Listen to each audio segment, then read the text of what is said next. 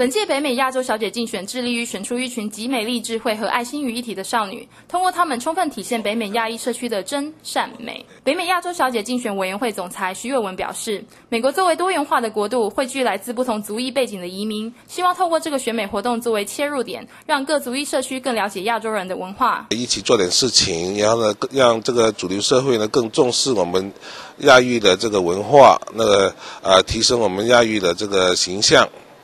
本年度北美亚洲小姐竞选将从美国纽约、波士顿、旧金山、芝加哥以及加拿大温哥华、多伦多各赛区选出十八位佳丽，于八月六号汇聚于纽约上州奥奈达印第安属地王国的幸运石娱乐博彩城进行决赛。奥奈达王国印第安族裔在近二十年来发展很快，大家可以在此地感受到印第安族裔源远流长的历史文化。